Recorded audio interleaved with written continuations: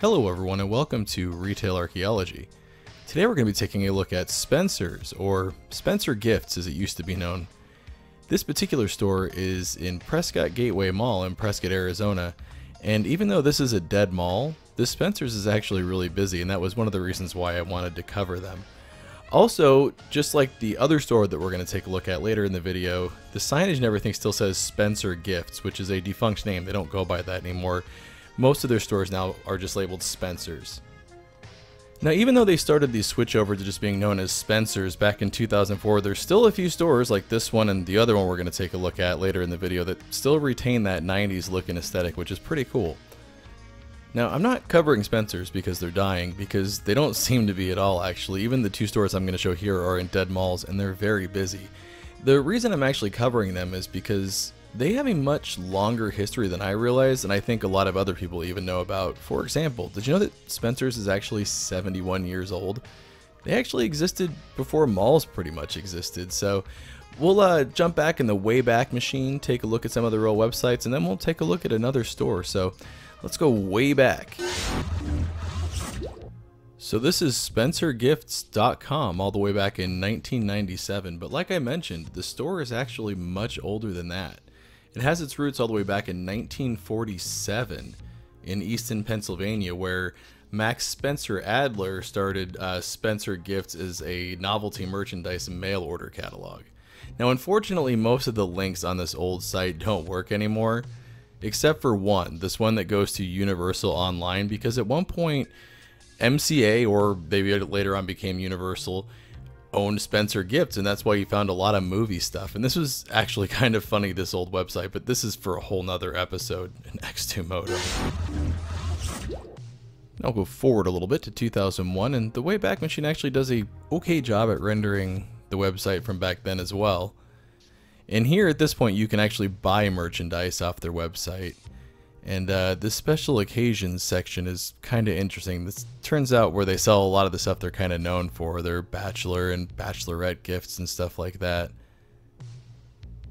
I was actually surprised though at the second store I went to how much of this stuff was out in the open in the store. I believe on this website it says you can only order this stuff online and like is pretty typical with looking a lot of things up on the Wayback Machine, a lot of the links don't work, unfortunately, so we can't find out about the uh, Mystery Woman kit there, unfortunately. God, I remember seeing all this same stuff though, like when I was in high school when we used to go into Spencer's. I mean, even to this day, what visit to the mall isn't complete without going to Spencer's, but it's really just, this is the same stuff. They still have this same stuff in the store today.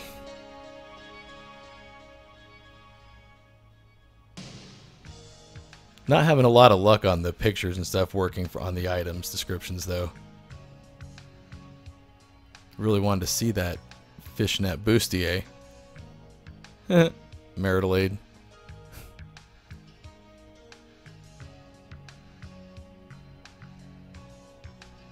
Look, there's just pages of this stuff. And I was surfing on this website for a bit, and I noticed I seemed like there was more pages of this stuff than a lot of the other categories. Dude, look at that lady. She looks super excited to be wearing that hat. I was hoping if I looked at the product page, I, like a bigger picture would come up with her in that hat, just looking super excited, but unfortunately the Wayback Machine disappointed here.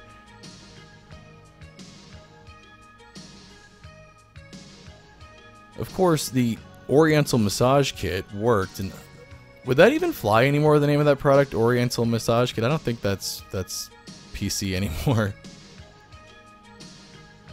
Honestly, that looks like a lot of junk though for $24.99. That's what always cracked me up too about Spencer's. You're just much better off going to like an actual adult store, I think, and buying real stuff than a lot of this junk. I think it really is for gags. I, I hope people really aren't using this stuff.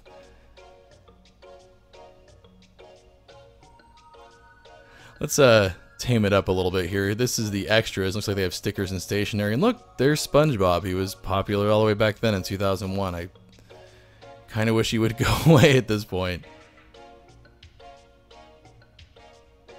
We got some Kiss stuff. Ozzy. Remember when that was relevant? Ozzy Osbourne had that like weird resurgence in the early 2000s. And we've got some Slipknot there. Slipknot's pretty cool. I like some of their older stuff.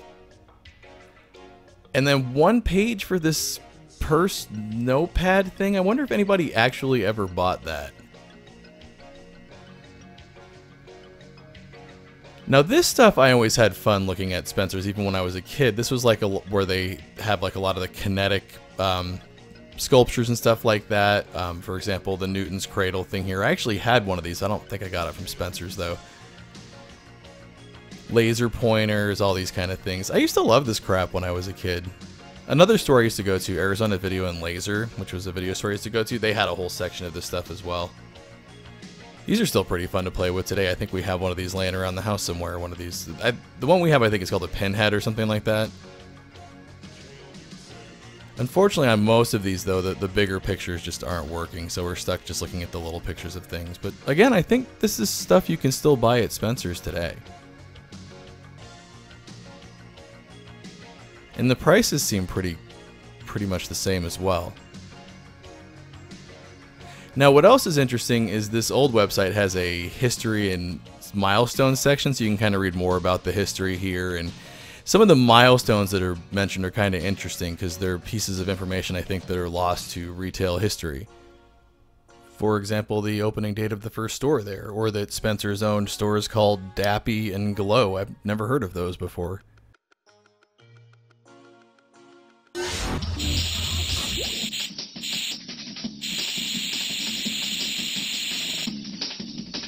Welcome to 2005. You guys remember the internet in 2005? My god, with the spray paint thing.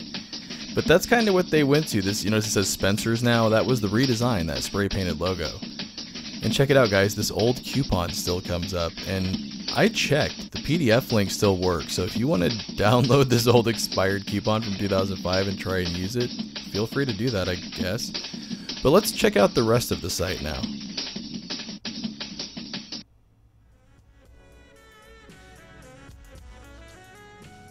And the Wayback Machine does a good job of rendering this one, and more incoming 2005. You guys remember tattoo stuff was still super popular back then. And it just keeps going. But like I mentioned, you can see at this point, it's now Spencer's. It's no longer Spencer Gifts. And that's unfortunate, because I do miss the old name. See, they got stuff for her, and if we click this little thing down here, I guess we can see stuff for him. Oh, fantastic. That's that's every dude to a T, isn't it? Live nudes and beer bongs. Jesus Christ.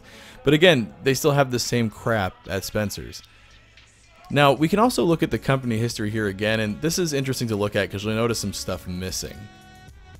For example, there's no more mention of the DAPY or Glow stores, and there's also no more mention of the UK stores because at this point they had all closed already, even though they were just opening them in 2001. And then there's also a lot of stuff here about the redesign they were going through, and again, this is pretty much what Spencer's looks like today, that garage door pulled down with the spray painted logo. And if we take a look at the uh, pictures here, I mean, again, this is 2005, but that really doesn't look like anything different from today. That just looks like a Spencer's at a, at a newer mall. We can go back to the uh, history page here and take a look at the interior picture there. And you'll see that, that's again, that's just exactly what Spencer's looks like now. A lot of t-shirts and stuff like that. Alright, let's uh, go back to the present now. And here's the second store we're going to look at, another Spencer Gifts instead of Spencer's. I love that I found two stores that still have the uh, 90s aesthetic and logos and stuff. And I also love this t-shirt wall. A lot of these same t-shirts were here when I used to frequent Spencer's in the uh, late 90s and early 2000s. Same tile floor too. Like I mentioned, this location's at Metrocenter Mall, which is very much a dead mall, but this Spencer's location was also very busy. It was a little bit difficult to film in.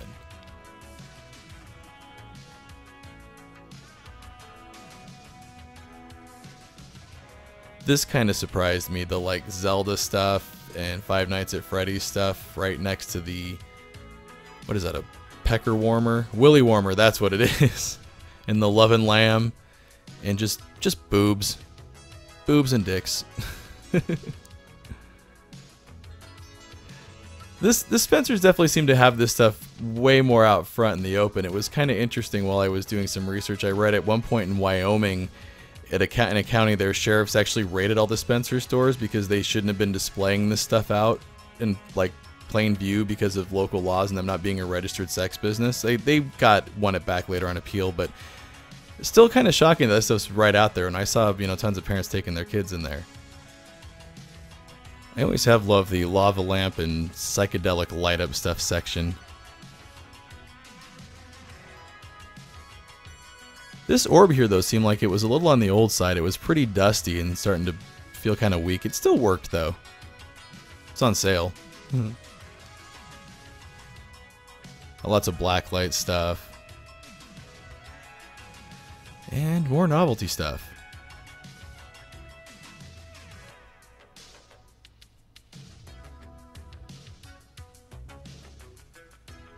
You guys need an inflatable lounger? Or edible bra and underwear? Here's a quick shot of some mall guts. They left the back door open there so you can see into the back of the store. Not, not as big as I thought it would be, to be real honest. Looks like they have most of their stock just right up front. I remember as a kid one time we actually got kicked out of the mall because one of my friends bought a pair of the edible underwear and then was just walking around the mall eating them. And apparently that was offensive and we were asked to leave.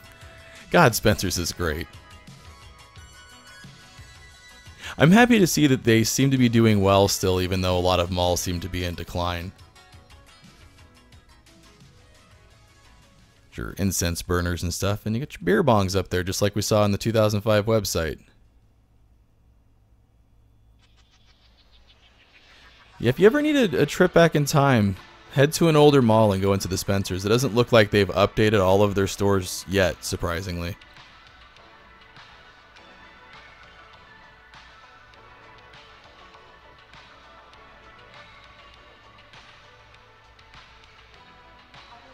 So many socks.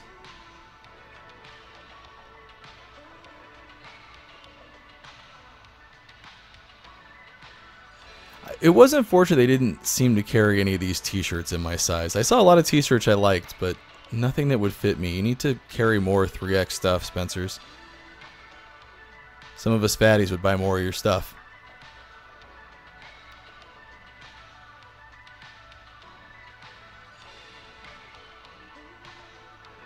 Should have rummaged in the clearance bin. I didn't even notice that until we were watching the footage later.